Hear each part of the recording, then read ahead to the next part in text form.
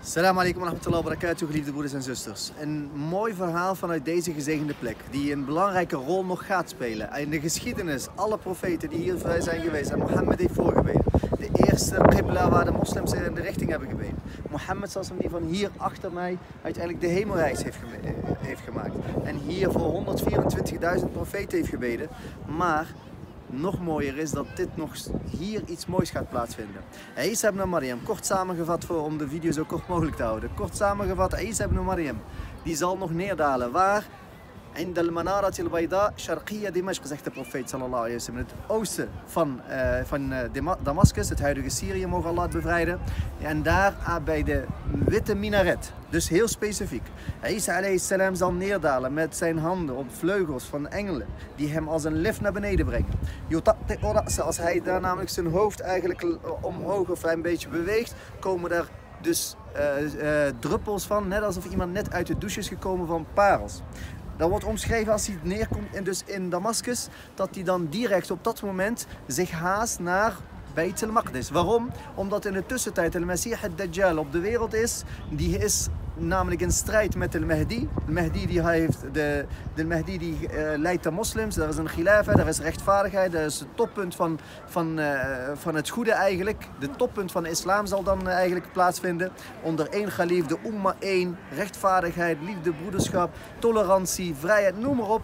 En dan komt de Messiah al-Dajjal dit verpesten. Na zeven jaar komt de Messiah al-Dajjal met zijn met zijn uh, listen ook, waardoor hij dus een heleboel mensen meekrijgt. Hij zal dingen laten zien en daar gaan mensen zelfs geloven dat hij op een gegeven moment God is en dat hij aanbeden moet worden. En steeds meer volgers gaan achter hem, namelijk de strijd aan met de mu'minin, die de Messiah al-Dajjal als khalifa, als leider hebben.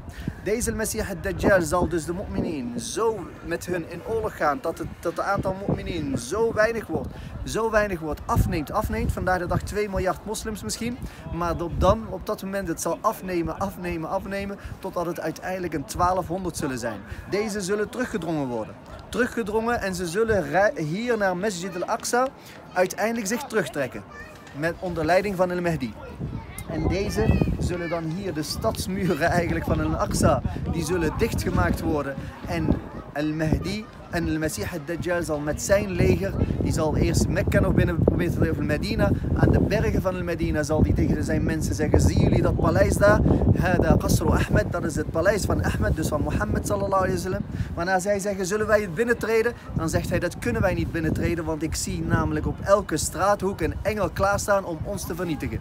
Mekka en Medina blijven daarin be, eh, dus be, uh, tegen uh, bestendig, of in ieder geval tegen be, beschermd.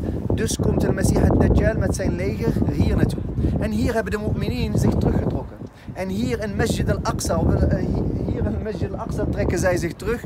En ik ben me eigenlijk, subhanallah, zelfs in een beelden hoe dat eruit zal gaan zien. Dus de stadsmuren die wij hier elke dag binnenlopen, die jij ook binnen kan lopen als jij hier naartoe komt. En dat je dan ik zie het gewoon voor me dat ze daar 1200 mannen bidden zijn. Achter een Mehdi. En ik heb de afgelopen dagen ook meegemaakt dat het licht uitvalt. En voel dan donker het is koud. En de hadith omschrijft dat zij op dat moment, namelijk op Salat al-Fajr, de adhan is gedaan. Zo precies is deze hadith, mashallah, die je erna kan trekken. Dat Allah azza aangeeft, dat Mohammed aangeeft dat dan Salat al-Fajr, de adhan is gedaan en zelfs de iqama. De moslims zitten te wachten op een Mahdi die hun voorgaat in de donkerte omsingeld hier door de Messiah Dajjal en zijn leger, die hier bij het Masjid al-Aqsa nog niet binnen kunnen treden.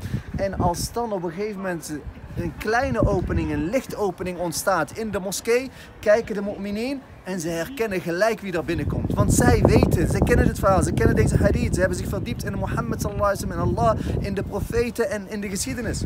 En ze weten dat het Isa ibn Maryam is, die hier naar binnen komt en namelijk naar voren stapt. En als hij naar voren stapt, uit respect zal een Mahdi tegen hem zeggen... Ja, Isa ibn Maryam, een profeet natuurlijk. Niet zomaar een profeet, een van de vijf VIP-profeten, eh, Ulul Azm. Die zal hier naar voren worden gevraagd, gaat u maar ons voorbidden. En dan zal Isa ibn Maryam antwoorden, Nee, lekker uqimet. Het is voor jou, de iqama was voor jou. En Isa ibn Maryam als profeet zal dus achter al-Mahdi, een van de umma van Mohammed gaan bidden. Een soort van respect voor hem. Van luister, ik zal Mohammed wasallam ook volgen. En hier iemand van de umma van Mohammed, die zal ons voorgaan. Dan gaat Isa ibn Maryam in de rijen staan van de, van de, van de strijders die dan nog over zijn. Van de mu'minin die nog over zijn. Hij gaat het gebed mee verrichten. En als hij klaar is met het gebed, salat al-fajr is klaar, assalamu alaikum, assalamu alaikum, staat hij op en gaat hij hun allemaal stuk voor stuk laten. Om wat? Om ze mee te delen dat hij te horen heeft gekregen dat hun plek in het paradijs op hun wacht. Allahu Akbar. Moet je, ik zie het voor me hier gebeuren. En die donkert hem en Isa ibn Maryam dan opstaat en naar de ene gaat en zegt, ik kom je goed nieuws brengen. Dit verzint hij niet zelf, dit heeft hij van Allah en van Jibril te horen gekregen. Hij heeft een plek in het paradijs. En de andere, heb geduld, jouw plek in het paradijs wacht op jou. Jouw paleis in het paradijs wacht op jou. En dat hij ze stuk voor stuk allemaal afgaat. Subhanallah, Allah. Ik krijg kippenvel als ik hier sta op deze plek en ik weet dat het hier gaat gebeuren. Hadith die authentiek is. En dat het hier misschien zelfs achter mij is. Dat deze plek nog iets gaat betekenen in, in, in, in de geschiedenis. En dat is een van de sa, een van de grote tekenen van de dag des oordeels. En dan als hij ze heeft beloofd, hun plekken heeft, over zijn, hun plek heeft verteld in het paradijs, staan zij er klaar voor. Hij zal terugkomen op dat moment in kledingstenu, in een vechtsterstenu. En dan gaat hij, stapt hij naar voren. Nadat zij dus te horen hebben gekregen, wij zijn wij hebben een plek in het paradijs en ze vreesden eigenlijk de enorme grote, misschien honderden duizenden of miljoenen strijders die om hun, hun omsingelen, ging die angst nu weg. Waarom? Ze hadden namelijk de keuze gekregen. Willen jullie dat ik dua doe aan dat Allah Azza wa Jalla, Messiah Dajjal en zijn volk, het grond onder hun wegveegt en direct vermoord? Willen jullie dat ik dua doe dat hij een leger stuurt om hen te verslaan? Of willen jullie zelf naar buiten en dat Allah de angst in hun boezemt en dat jullie toch de eer krijgen dat jullie het hebben gedaan? En zij kozen natuurlijk voor dat laatste. Dus ze stonden achter Isa ibn Maryam en ik zie het voor me. Hij, maar, subhanallah, in strijders nu. En de rest achter hem van de mu'minin, elite. Van de zoveel miljard zie je dat de kwaliteit overblijft. Maar die zich hebben opgegeven om wat? Om Masjid al-Aqsa en Beit al-Aqsa tot hun laatste adem nog te beschermen. En dan staan zij hier en dan gaan de poorten open waar wij vandaag de dag de Zionisten zien en de, en de bezetters zien die controle en irriteren enzovoort om je binnen te laten. Op dat moment zijn zij er niet meer. Op dat moment zijn er geen onrechtplegers daar meer op bij die poorten. Geen bezetters meer bij die poorten. En lopen de mu'minin achter Isa die poorten naar buiten. En aan de andere kant staat er een enorm leger van de Messiah al-Dajjal. Maar vanaf het moment dat die poorten open gaan, ziet hij maar één persoon. Al-Masih al-Dajjal richt zijn oog op, namelijk Isa ibn Maryam. En hij weet hoe laat het is. Want hij weet dat is de enige persoon, de enige persoon die mij aan kan en die mij zal verslaan. Dat weet hij ook. En Isa ibn Maryam weet ook dat hij terug is gestuurd om onder andere deze taak te vervullen. Dus hij zal hem achterna gaan. De Messiah al-Dajjal die zal vluchten. En zijn volgelingen die worden vol angst ingeboezemd. Als zij alleen maar de ademhaling van Isa salam horen, vallen zij dood neer. En al-Messiah al-Dajjal zal vluchten hier.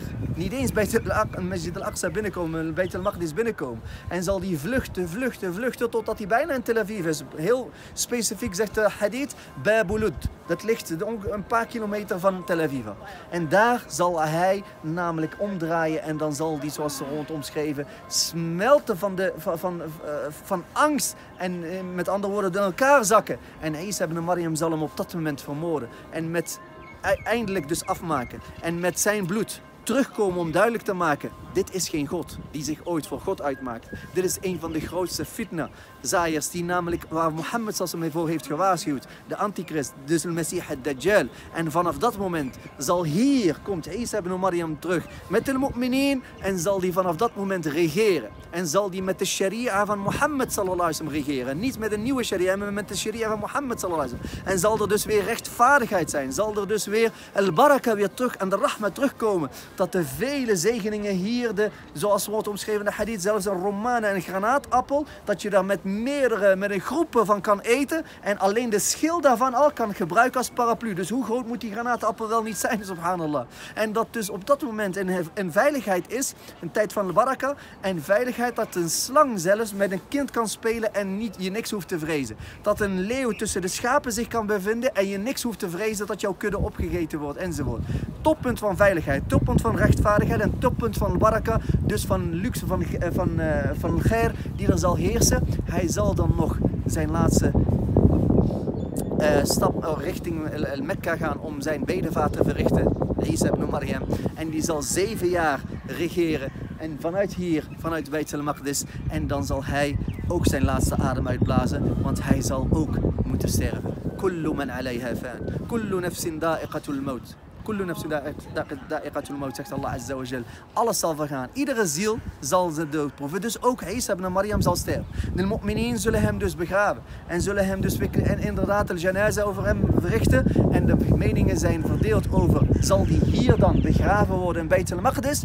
Of naast Mohammed sallallahu alaihi wasallam in Medina worden geplaatst? In allebei de zaken, zegeningen en baraka. En mogen Allah Azza ons vaker hier terug laten komen. Als ik dit verhaal hier vertel ook. Wat ik vaker in mijn reeks verhalen van de profeet heb verteld. Maar hier, dat je weet dat het hier nog zal plaatsvinden. Ik kan je zeggen, geliefde broeders en zusters, kippenvel, ondanks, niet van de kou, want het is best wel koud, maar kippenvel, dat Allah Azza ons begunstigd heeft dat jij hier kan rondlopen. En jou ook, geliefde broeders en zusters. Jij kan hier naartoe. Doe het. Ehm, schrijf je in of doe het individueel of wat dan ook. Je hebt een Nederlandse paspoort of een Belgisch paspoort.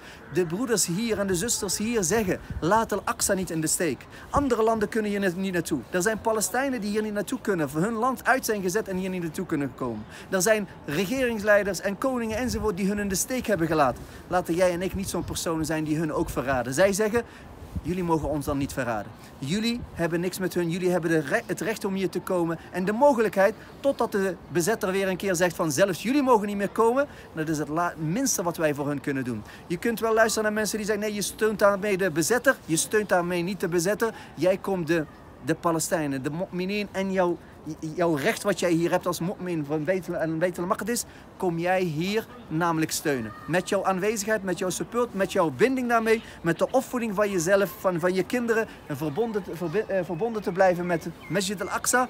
Dit is waar wij, waarvoor we doen. En laten we dat dan ook doorgeven. En mensen massaal uit Nederland en België, hier en eigenlijk over heel de wereld, deze plekken, deze gezegende en heilige plekken doen bezoeken, zolang het nog kan. Het is een ni'ma van Allah Azza wa Jal die als je er niet gebruik van maakt, hij je misschien die afpakken en anderen geeft die het wel waard zijn. Mogen Allah Azza ons laten behouden die de Aqsa nooit zullen verraden. En die altijd in dienst zullen zijn van een Aqsa waar ze zich ook begeven. En een zaadje planten, misschien dat onze kleinkinderen de volgende Salah het zullen zijn die hier bij Tel Maqdis binnen zullen lopen om het te bevrijden. En wij daar een gebed kunnen verrichten en een Jumu'ah en, en het Salat en de Ramadan en alles kunnen verrichten.